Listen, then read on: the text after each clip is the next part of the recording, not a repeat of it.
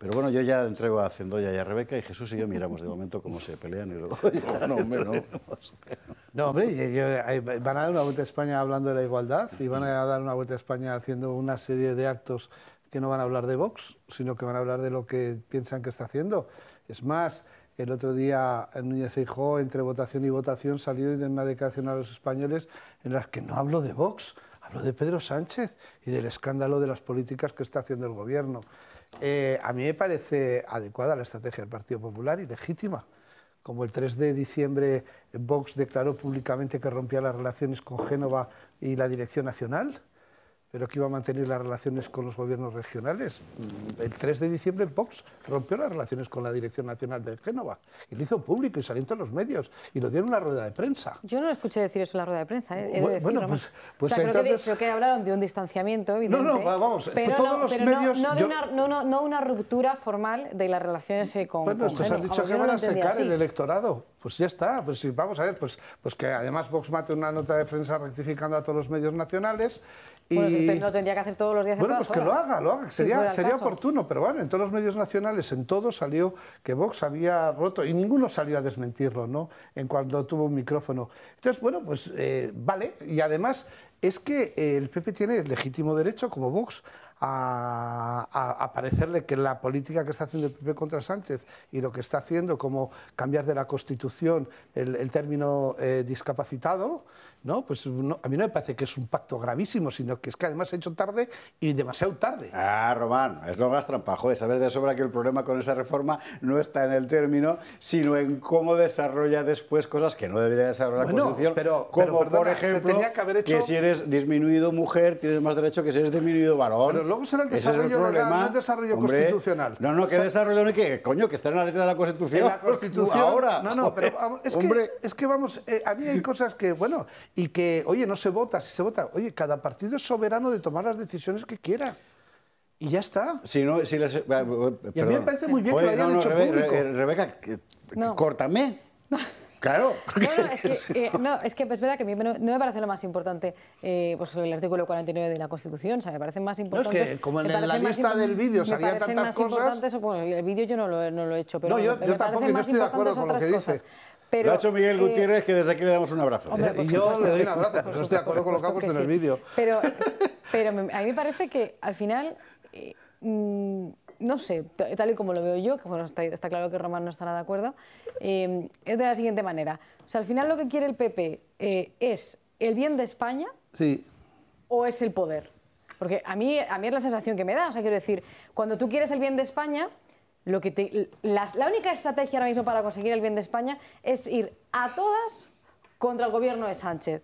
Y esto implica, no me refiero a- al artículo 49 de la Constitución, me refiero a no pactar con el PSOE las comisiones parlamentarias, eh, apoyar las enmiendas del, de- del único partido que también, como tú, está haciendo, eh, está haciendo frente a Sánchez, como ellos sí que han apoyado, porque Vox apoyó la enmienda del Sí. PP a la ley de amnistía y el PP decidió no apoyarla. A mí me parece que esas son las, esas son las, las verdaderas políticas que van por el bien común de España. O sea, yo, por ejemplo, esta, esta tarde hablaba en el programa de Periodista Digital con, eh, con Alejandro Fernández, que es el del PP de Sí. catalán, que me parece de las personas más sensatas ahora mismo en el PP de Cat- en el Ciertamente. PP, eh, y me decía, yo prefiero, es que yo prefiero mil veces a Abascal que a Otegi. Hombre, faltaría más. Es que Pues esa no es la declaración que yo creo que tiene que hacer el Partido Popular. Es que prefiero a Abascal que a Sánchez. O sea, es que. Pero, pero esa no la hacen. O sea, entonces, ahí es donde está, donde está la, la respuesta a realmente quieren el bien de España o quieren el poder. No. Si realmente quisieran el bien de España, obviamente preferirían pactar con Vox lo que fue, todo lo que fuera posible, que yo creo que sería la clave, que ahora mismo pues, no puede ser, eh, pero no pactar con el PSOE. Pero aquí hay una realidad. El PP solo quiere pactar con el PSOE. E. Pactos de Estado con el PSOE, llegar a acuerdos con el PSOE.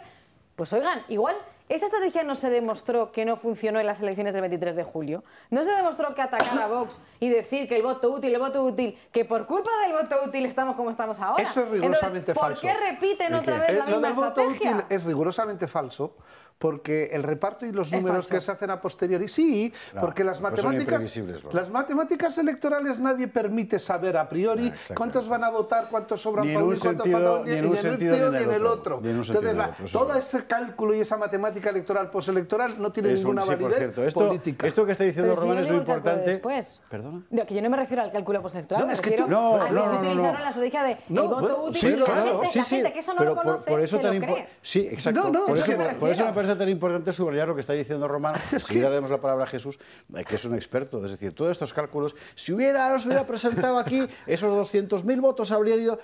No lo sabe nadie. No, pero es como cuando Porque depende de mil cosas, de que esa gente que no estuviera, si no hubiese un candidato, no fuera a votar, de que si fueran otros de otro partido, al final los restos de tal o cual escaño te van a depender de vamos a ver, 7.000 en- en votos una campaña imprevisibles ningún lado. pero tú le preguntas Con al lo cual- español medio Pero- y te dice, no, voto útil. Y por, claro, por eso estoy subrayando, útil, pero- pero por eso estoy subrayando eso. lo que acaba de decir Román, que además en el caso de Román, cuya posición, en este caso, per- per- perdóname, pro PP, en este debate es bien conocida, me parece particularmente honesto por su parte que lo diga. Está todo el mundo Sí. jugando a retórica. Yo, yo entiendo perfectamente que el Partido Popular, si yo estuviera en el PP, ¿vale? Ahora mismo mi obsesión sería, o sea, ¿cómo?